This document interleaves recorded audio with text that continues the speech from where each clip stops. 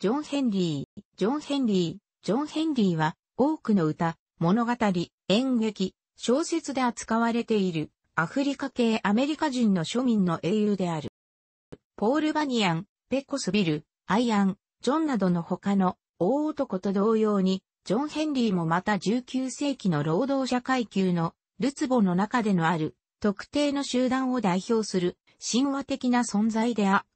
彼の人生の最も一般的な物語では、ヘンリーは大きくて強い人として生まれた。彼は西部へ山を渡って鉄道を延長する世紀半ばの動きの中で最も素晴らしいハンマー使いになった。物語を複雑にするのは機械の力が獣の筋肉の力、人間と動物の両方にとって変わり続け、鉄道の所有者が蒸気で動くハンマーを購入したことである。これは黒人労働者が行っていた仕事を機会にさせようということである。彼と彼の仲間の職を確保するために、ジョン・ヘンリーは蒸気ハンマーとの対戦に挑戦した。ジョン・ヘンリーは勝利したが、この過程で彼は心臓麻痺を起こし死亡した。他の物語のバージョンでは、ジョン・ヘンリーの脳に血管が浮き出たというのもある。あるバージョンでは、彼は死なずに生き残っている。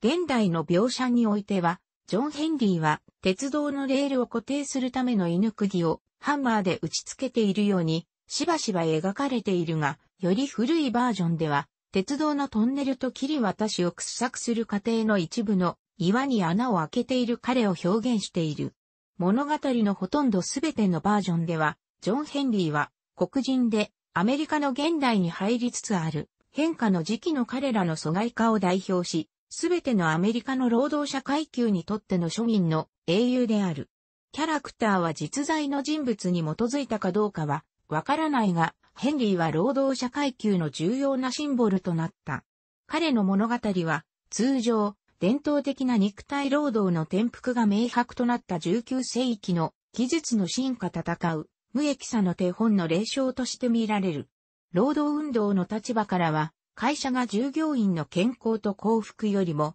効率と生産に興味を持っているときに、由緒ある習慣の最も熟練した労働者でさえも取り残されてしまうという霊障として、伝説を解釈する人もいる。ジョン・ヘンリーは、自らが蒸気ドリルよりも有能であることを立証したが、彼は死に至るまで自分を酷使し、どのみち機械へと置き換えられた。こうして、ジョン・ヘンリーの伝説は、優に100年以上を超えて、アメリカの労働と神話の主要部分となっている。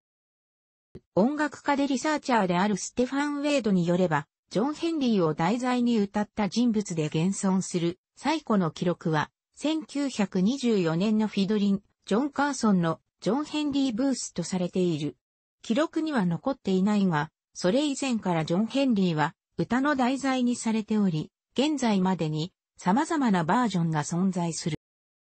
最強の男として生きていた時のジョン・ヘンリーに関する真実は時間と神話によって曖昧にされているが、一つの伝説では、彼は1840年代にアラバマ州で生まれた奴隷で、ウェストバージニア州、タルコットのチェサピーク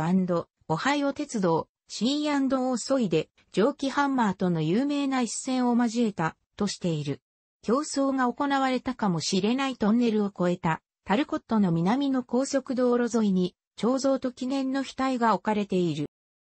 鉄道シアのロイシーロングは、シーオーソイに複数のビッグベンドトンネルがあることを見つけた。また、C&O はこれらのトンネルが建設されていた当時、ジョン・ヘンリーという名前で呼ばれていた複数の黒人男性を雇った。彼は証拠書類を一つも見つけられなかったが、人間と機械の競争が確かにウェストバージニア州タルコットの場所で起こったことを、その場所で同時に三つすべてジョン・ヘンリーという名の男、ビッグ、ベンドという名のトンネル、そして蒸気ドリルが出現したという理由の事例証拠に基づいて信じて、ウィリアムメアリー大学の歴史学の助教授である、スコット・レイノルズ・ネルソンの著書、スチール・ドライビンマン、ジョン・ヘンリー、ザ・アントルド・ストーリー・オブ・アン・アメリカン・レジェンドは、1870年代、労働のために C&O 鉄道に監視人によって賃貸されていたバージニア州の囚人、ジョン・ウィリアム・ヘンリーは、伝説的なジョン・ヘンリーの基礎となったと主張している。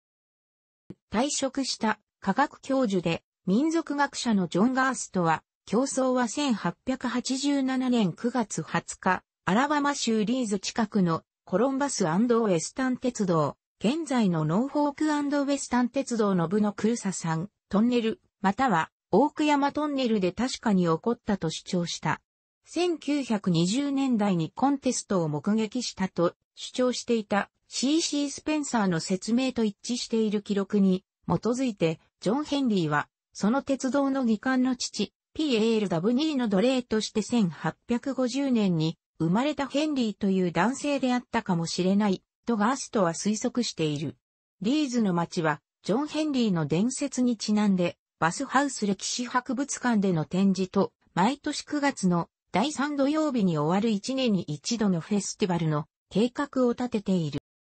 どの説も除外できるような証拠書類は全く現れていないが、パルコットとリーズの両方の町が彼らの示唆した伝説との結びつきを宣伝と教育的な資料とイベントに使用している。毎年7月4日の後の週末、タルコットの町はジョン・ヘンリー・デイズとして知られる祝賀を主催している。その週末は多くの屋台、パレード、花火、そしてゴムのアヒルのレースが含まれている。